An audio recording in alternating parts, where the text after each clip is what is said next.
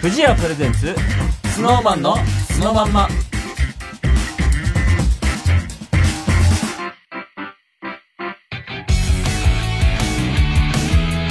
こんばんは、スノーマンの深澤達也です。山本ひかるです。藤谷プレゼンツスノーマンのスノーマンマン。今夜は、この子早い早い早い早いのよ。まだ、今夜は、で、あるでしょ、その目の前に台本はいはい今夜はこのコンビでお送りします。今だよ。あ、ここ？今だよ。弱い弱いいや、そう、いや、ちょっとあの、小耳で挟んだんですけども、はいはいはい何ですか？あの、このコンビがですよ。7年ぶりですか？あのなんで行き過ぎだよ。え ?7 年ぶり。違うんですよ。あの、去年の9月以来の3度目らしいです。おー。なんか、意外とね、ね、3度目ってさ、あんまもう、ここに来て3度目ってなくない？大体ないよね。そうだってだね6とか7とかさ、うんあるからさ、意外とないんだよね。で、なんか、あの、小耳これも小耳に、さっき小耳に挟んですけど、うん、あ挟のん、結構挟んだね。そうです。あの、結構、挟みまくったんですけど、うん。あの、一個前がちょうど1年前で、そのアルバムの発売、なんかスペシャルみたいなやつで、うん。なんか、アンケート、メンバーからのそう、で、それにちょっとなんか答えながら、みたいなうん。ので、だから今回意外と、こう、うん本当に素のまんまみたいな、こう、素でっていう、こう、なんか、プライベートみたいな感じは意外と、なんだ、そう、だからスペシャルじゃない普通、そう普通っていうかなんだろう。な、なんつうんだろう、こう、通常会みたいな。いつもそうだねんそうだねが、ちょっと久しぶりらしくてですね。まあ、これが本当に、ついにようやく念願が叶ったということで。念願、念願って思ってないだろ。か、いや、なかなかレアですよ。だって要は、実質、3度目っつっても、で、いいよ、もうだから、ここ広げすぎるとさ中身全然喋れなくなっちゃうから。あ。喋ろうか。あ、じゃじゃあこれだけ言わせてくださいよ。あの、あの、岩本さんをついにあの、まあ、ついにというか、まあ、舞台がこう、無事に、まあ、千秋楽を迎えまして。1ヶ月前だうよ。ーん。え、1ヶ月1前ヶ月前に終わったよ。いやいや、でも、それぐらいあなたが出てないってことなんですよ。逆を言うと。いや、出てるよ。逆を言うと。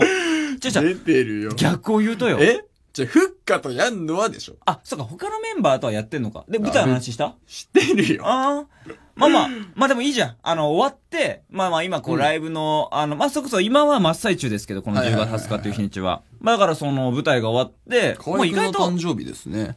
あ10月20日。やべえ河合くんの誕生日です。おめでとうございます聞いてるかわかんないけど。うんぜひ、聞いてください。そう、20日誕生日です。ぜひ、ぜひ、それも大事だけど違うんですよ。はい。あの、だからさ、意外と時間なかったんですよね。別に舞台終わってももうすぐライブの、そうだね。振り付けだったりとかは、いやってたから、意外とゆっくりっていうのはなかったですよね。うん。なかったかも。オフみたいなのはないもんね。ないね。そうだよね。うん。だから休めてはいないんですよ。うん。俺は結構休めたんだけど、もうバッチリ。何を知ってんだバッ。チリ。バッチリ。もうバキバキ？バッキバキ休みすぎて？逆に。逆にバキバキ。バキバキうん。え岩本さんは、うん。ちょっと働きすぎてバキバキなんだけど、うん俺休みすぎて休みすぎてバキバキめっちゃ最強。いや、でも楽しい時間を過ごさせてもらってましたよ、俺。いや、だから、舞台俺ほら、あのー東京の方を見に行って、うんうんうんで、あのーだからもう、あの、最初の、こう、めちゃめちゃ早、ぜ、早回しのこのセリフとか名前。曲入る前ねそうそうそう。うんとか、いや、だから、シンプルすごかったっすよね。あありがとうございますうんで、なんか、ミュージカルじゃん。うん。で、ヒカルがミュージカルって、まあ、本当昔ね、ちょっと昔になるとやってたじゃないですか、ミュージカル愛だ青春切符。はい、やってたじゃないいですか。やっぱ、それも見てますから、私、私はね。まあ、ファンの方も、それももちろん見てくれさってる方もいると思うけど。うんだから、新鮮だった、また。うん、嬉しい。そうそうそうそう。しかもその期間ってあんまりそれなこそなんだろう。こう、まあ俺は舞台やったりとかしてたから、うんうんそのグループで集まったりっていうのもなかったじゃん。なかったなかったなかった。だからなんか普通に、そう、フッカーとかとなんか久々になんかそうやって連絡取ったりとかね、確かに。した時になんか、うん懐かしい感じしたよね。そう、なんかね。なんか、いや、別に、会ってない期間って、そう、言うてその、まあ、稽古、まあ、ちょいちょい会うじゃん、その合間でも。うんうんでもなんか確かにで、言われ一てみたら週間会わないだけでもさ、うん。体感1、2ヶ月会わないぐらいな感じじゃん。結構そうだ。だから、うんそれ、それぐらい今までが普通すぎ、なんか、いい意味で普わかるよ通というか、そのうん、うんうんいるのが普通だったからさ。うんで、舞台行って、まあ俺は、それこそ、あの残。念ながらエンディングの時間になってないのよ。まだ、わ多分9分、あれ？いやまあまあ、オープニングで9分ぐらいも、まあまあな、9分かな？わかんない。長いんですけど、まあまあまあ、でも、ああ、でも岩本さんの髪色もちょっと変化してますね。まあちょっと。ちょっと変化してます、これは。消消防士も終えて、詐欺師も終えたんで。変化してます、これは。だからあの、あの10月、あその大阪、横浜の時にはね、の時には解禁されてると思うんですけど、だいぶ違います。結構違いまいや、す。それもう知ってんだよ。あ、そうか、知ってんのか、みんな知ってくれてるし。あ、そうか、知ってんのかそう。あ、そうか、そうか。まあでも、今このトークしてる間は誰も知りません。何マウントなの？新しいです。そして？あ、そして？あ、あそして、うんあ、もうこれ言わなきゃね。そうだよ。そして、SNS で使っていただきたい、この番組のハッシュタグがあります。はいえーハッシュタグ素のまんまです。聞きながら感想をつぶやいて、この番組を盛り上げてください。それでは、今夜も、スタートです。藤屋プレゼンツ、スノーマンの素のまんま。この番組は、藤屋の提供でお送りします。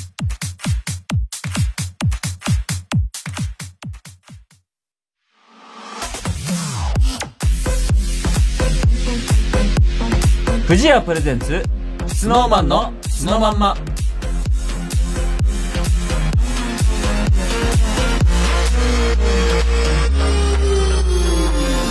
番組前半はスノトークの時間です。近況を話したり、メールを読んだり、ゆったりとスノトークを繰り広げていきます。はいそれでは、早速、これ読まないと、あの、2個いけなくなるという現象あります。あ、じゃあ、えっ、と、岩本さんからいこうかな。これから行く？はい。オッケー。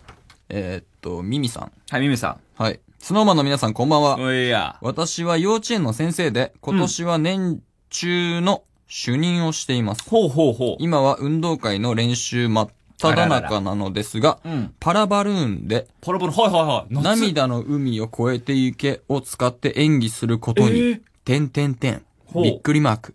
ジュニアの頃から大好きなスノーマンの楽曲で子供たちと一緒に頑張る日が来るなんて私にとってとってもすごく嬉しいです。そこで、スノーマンの皆さんは運動会でこの曲で何かやったなど覚えていることありますか？今一緒にやってる子たちのいい思い出となり、みんながスノーマンを好きになってくれたら嬉しいです。うんあと、深澤くんは幼稚園の先生になりたいと言ってたことありましたよね。ありました、ありました。他にスノーマンの楽曲でおすすめの運動会はい。の曲みたいなのはありますか？あー。これからの参考に教えてください。なるほど、なるほど。ミーさんですね。ミーさん大阪府。ミーさんね。ミーさんありがとうございます。てか、俺久々にパラバルーンって聞いたあれみんなで端っこ持ってふわってやるやつそうあれ端っこ中入ったりとかす中るやつ入るやつ。そう俺、ちょっと待ってえ、年中さんでしょ年中さんですね。あ、でもそうね、パラバルーンとか幼稚園生の時だったな、確かに俺。でも曲って言われるとちょっと、幼稚園の時はないかな。思い出す小学校とうん、か、中学校かな。それうそ中学校の運動会とかで、うん、カトゥーンうん。さんのシグナルええとか、なんか走ってる。走り？走りっそうてこと？走り走りあ。俺基本走ってたから。あ、まあ確かにそうか。小中って。走りまくってた走な。走りまくってたから、ら。俺は。え、でも俺全然曲とか覚えてないな。覚えてない？やった競技は、もちろんそれこそパラバルーンは幼稚園生の時にやってたし、うん。でも、俺そこら辺で言うと多分、キンキさんの曲か、うん。えっと、スマップさんだったかな。ほうほうほう。あその、ジャニーズだったっていう記憶は、うんうんうんうんしかもパラバルーンで。ええそこは覚えてんのよ。それがね、果たして今は、そ俺らのね、涙の海でしょ？涙の海を越えて雪を使って演技してくれる。いや、嬉しいい。ですよ。だから、ちょっと前にさ、うん。えっと、それすね、川越のさ、はいはいはい。ロケ行ったじゃん、はいはいはい。あの時にちっちゃい子がいて、うん。ちょっと喋ってたんだけど、うん。したら、運動会だで、うん。えっと、ブラザービート踊るんですっていう、そのちっちゃい子が。ほ、それを聞いた時に、うん。あ、なんか嬉しいな、その自分たちの曲を、ね、そのそうだよね。よ、幼稚園、それこそうん。まあ、あの、涙の海もそうだけどさ、あ、そういう感じになれ、なってきたんだなっていう、こう、ちょっとなんかうん嬉しいというか、微笑ましい感じになりましたね。うん。だからそれこそ、他にって曲言ってたでしょ？そう、スノーマンの楽曲でおすすめの運動会の曲みたいなのありますか？あ、ななんかありますよ、山本さん。やっぱグランドールじゃん。いや、激しいな。ダンス？踊る？みんな。よしょの あ、なんか、わかんないけど、タイム速くなりそうじゃん。もう、うん。コーナーで差をつける。ね。懐かしいですね、コーナーで差をつけるのはね。ある？フッカあ、だから、俺、それこそ、あの、ブラザービートとかいいのかなっていうふうに思った。あー。あやっぱこうみんなでこう、なんか、た、なん、なんの時かな。玉入れとか、うん。幼稚園だったら玉入れとかかな、ブラザービートみたいな曲があると、いいのかな。まあ、インファイターで組体操でもいいけどね。癖。え？うん、癖がすごいな、な、な、な。な、な、な、な、な、それを、で、もしそれをうん、本当にどっかね、うんインファイターという楽曲で、うんまあ、例えば幼稚園生のみんなが本当にそれでどっか組体操もしやるんだったら俺見に行きたい俺も見に行きたい。な、な、な、な、なだよ。なんなら、携わりたい。構成やってくれますうん。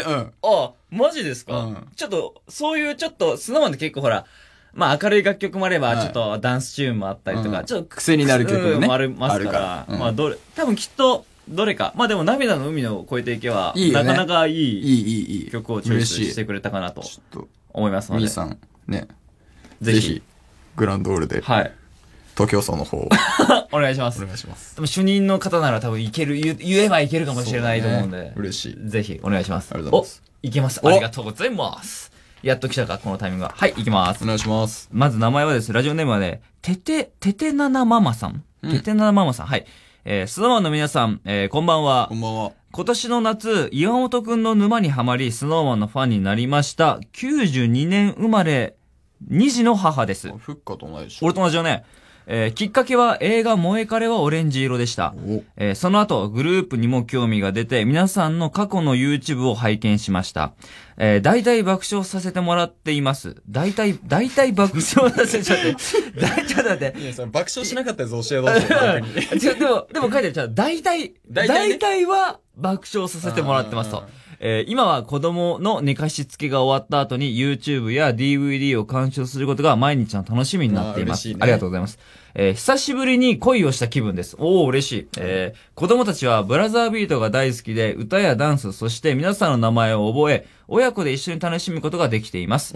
お、推しができたことが嬉しくて、えー感謝の気持ちをお伝えしたくメールを送らせていただきました。ありがとうございます。皆さんが、えーあ、皆さんが最近新たに好きになったものや好きになったことがあれば教えていただきたいですということですけど、まあ、その前にまあまあ、いっぱいあの、突っ込みどころは満載なんですけど、あの、だから、大体笑わせあだからその、ててんななママさんは、あの、次送ってくるときに、あの、爆笑しなかったやつを教えてもらいたいね。そうだから爆笑までいかないけど、ちょっと、うん。まあ、まあ、まあまあぐらいな感じの。それをぜひ、あの、なんか箇条書きでもいいので、ぜひ、あの、教えてほしいお便りをくれると。で、き、あの、その、それこそ、スノーマンを、あ、まあ、知ったきっかけというか、が、こう、岩本さんの、それこそ、萌えカレはオレンジ色ということで、嬉しいですよね。萌えカレはオレンジ色も良かったですよね。あの作品は。はいはいはい。あのど、まあ、岩本さん、だから俺は意外だったね。やった時に。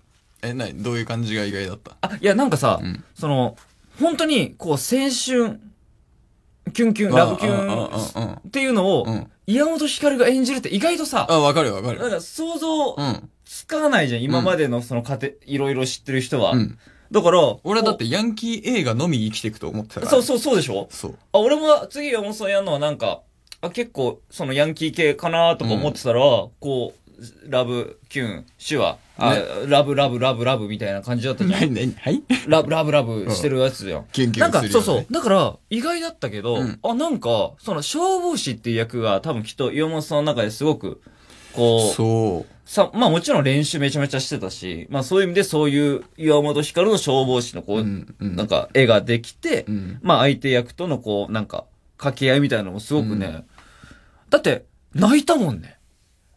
コウジ、あ俺たち、工事とフックあ、でしょ。八、あの、うちら8人で見たわけよ。俺以外、ね。そう。うん。うわ、なんか、隣、隣、どこだっけ？な後ろか、よかったんだけど、とか言って、なんで こいつと思ったら、コウジが普通に泣いてて、あ、でも本当に俺もちょっとね、泣きました。うんあの、いい、どこのシーン、あー、いや、結構、いや、よよかったんだけど、あーまあ、これ、それは言わないわ。どこ、どこでっていうのは。まあ、でも、どっかね。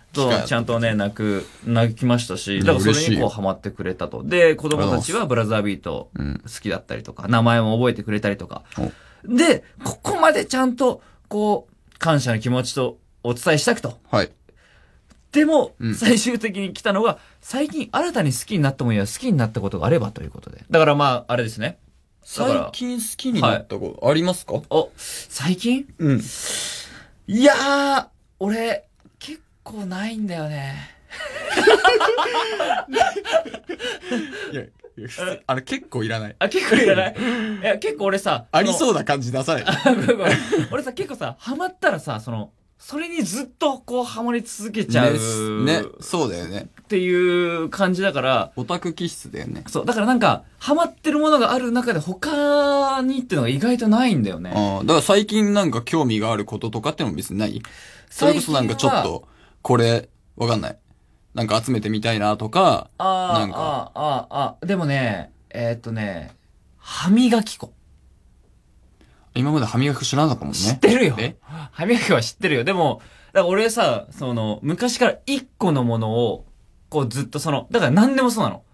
あシャンプうん。ーとか、その、歯磨き粉とか、全部同じのをずっと使ってる。どこ行っても。うんうんうんでも、こう、俺最近結構その、なんつうの、その、まあ、雑貨屋さんとは言わないけど、こう、いろんな、それこそ、あーまあ、化粧品があるはいはいはいとことか、こう、俺薬局とか好きだから、うんうんすごくよく行った時に、うんなんか、あの、え、この歯磨き粉めっちゃ良さそうみたいな、うんうん。ちょっと気になるのがあ気ったのになるのがあって、うんそれを買って、うんで、黒いの。歯磨き粉が。ほう。でも、す、なんか、炭とかじゃないんだよな、多分。炭じゃないね。ゃ炭じゃない。多分わかんない。ごめんちゃんと見てねえや。成分。見ろよ。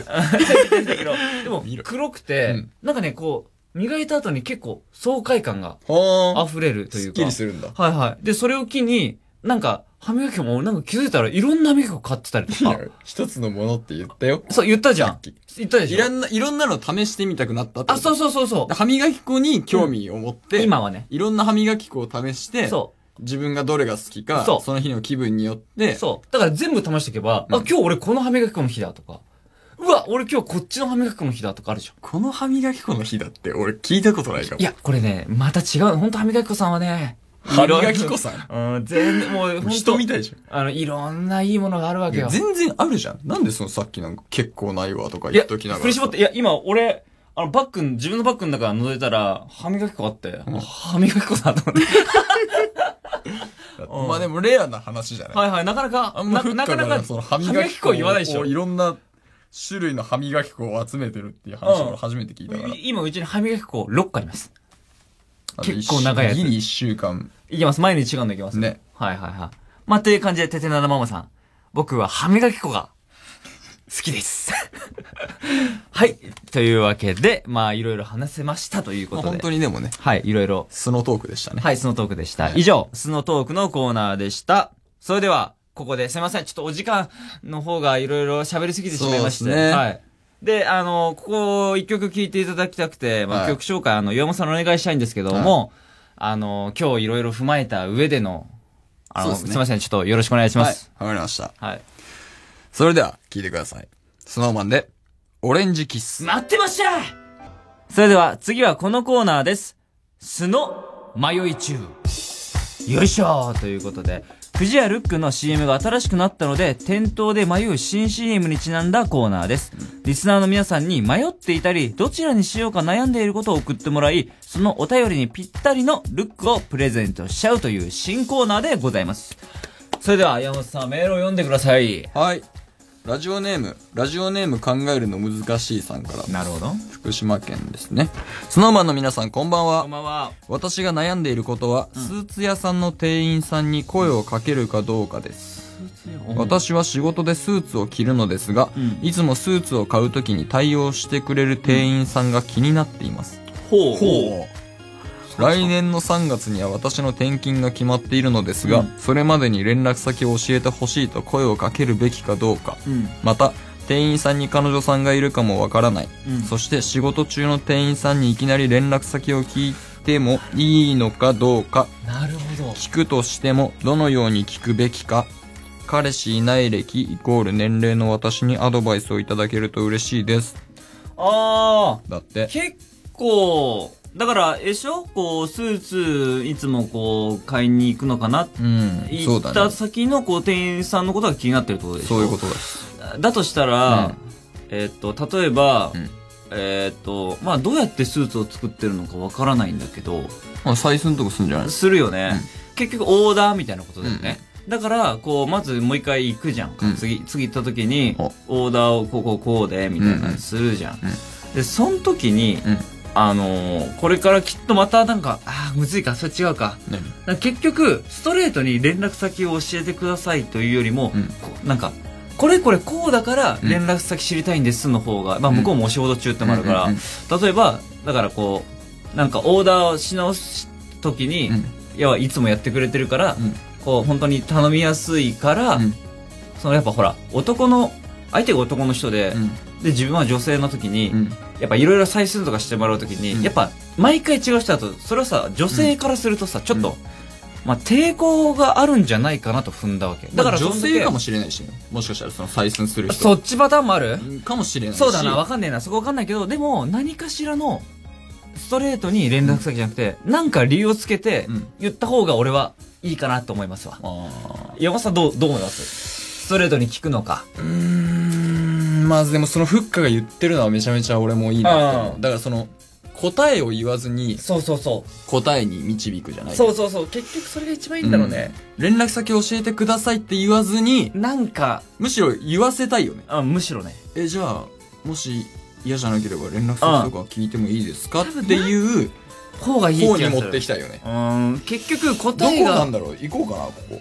どこ、どこ、どこにある？どこ？な福島県な福島？だから福島県スーツ屋さんって調べて出てくる。ああ、出すぎるんだよ、じゃあ。え？めっちゃ出てくるんだよ、それ多分。であもしかしてあれか？ってちわもう、すげえ数出てくるよ、そっか。そう。まあ、でも、なんか、まあ、俺と岩本さんの今の、こう言ったようなニュアンスを、こう、うんちょっと混ぜて、うん。挑戦してみるっていうのは。なんかそうだよね。スーツ屋まあ美容師さんとかだったらねなんかそういう普通の話からいけたりするかもしれない。いけるよな。スーツ屋さんってなるとね。ちょっとね、うん。ちょっとなんか派生していきたいよね。ああ、派生させた方がいいと思います。うん様子見ながらねはい。押しすぎず。はい。はい。えー、では、えーそんな迷い中の、えーラジオネーム考えるの難しいさんには、えー僕らから、はい。これだな。俺はこれが言ってます。ルックの、それにします？はい、ミルクパレードですね。をプレゼントしたいなと思います。理由は言っていいですか、ああもちろんもちろん。このルックのこうミルクパレードっていうのは、はい。まあキャッチコピーっていうのかなキャッチフレーズっていうのかな、それがね、こうこだわり抜いた3種のミルクチョコレートのアソートっていうことなので、やっぱスーツってこだわりが必要だと思うんですよ。採寸とかもいろいろある中で。そうだねうん。だからこれ。だからこれだからこれ。何？うんだからですよ。で、これちなみにあれですよね。岩本さんも好きなんですもんね。よ。これ好きだよルック。い一番、一番どれがいいんでしたっフけィアンティーヌミルクそうなんですよ。だっていうのもありますし、うんあの、まあ、ぼ僕はどちらかというと、こう、ミルクとか結構、それこそ甘い方が好きだったりもするので、うんうんまあ、ふ深沢と岩本の気持ちを込めて、この、ルック、ねはい、ミルクパレードにしようかなと思ってこれをねおります。一緒にこそのスーツの人と食べれるところまあげちゃえでばいいんじゃない？頑張ってね。うん。行ってほしいなはい、と思います。はいいろいろな味が一箱に入ったルックで ちょもう一回くれいいよ、いいよ、いいよ。なんか歌舞伎のナレーションやってくれ 急にかぶってまで出てきちゃったから。はい。いろいろな味が一箱に入ったルックで皆さんも迷える選べる楽しめルックしてくださいね。以上その迷い中のコーナーでした。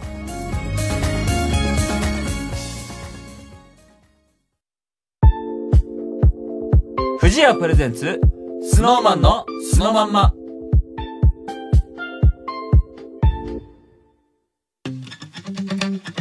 文化放送からお送りしてきました。藤谷プレゼンツ、スノーマンのスノまんま。あっという間にエンディングの時間になってしまいました。早いですね。それでは、えーここで僕たちスノーマンからのお知らせです。はい。スノーマンのセカンドアルバム、スノーラブ S2 が現在発売中です。うんそして、このアルバムを引っ提げての全国ツアーが現在開催中です。オッケー、僕じゃあ。そして、そして、この番組ではリスナーの皆さんからのメールを募集しています。ふつおた、素の告白。私、えー、実は、素の会議、素の迷い中など、番組宛てにたくさんのメールをお待ちしています。メールアドレスを光るお願いします。はい。スノーマンアットマーク JOQR.net、スノーマンアットマーク JOQR.net です。番組に関するお知らせは番組の公式ツイッターをご覧ください。いよいよ、別れの時間になってしまいました。ね翔太の時もやってたよ、それ。エンディングの時間になってしまう。でも場所が違うの。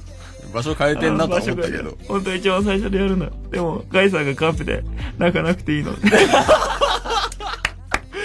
泣きの指示来ああ、た。泣き泣き。泣きのタイミングの指示。だから、あ、やっぱり気持ち入れなきゃって言ったら泣きに入っちゃいました。なるほどねまあでも、はい、あのちょっとあっという間だったね。あっという間でしたね。まあ、そこ3度目、3度目、読みたかった。なそうなんですよ。まだそ、の会議。そうなんですよ。いろいろあったんですけどね。あの、やっぱちょっと、時間が、そうですね。やっぱこうはいはい聞いてくださってる人たちにもやっぱ時間を大切に過ごしてほしいですね。そう、そういうこと、それが言いたかった時間はフェアですから。そう、だから俺それ言いたくて、うんあえて。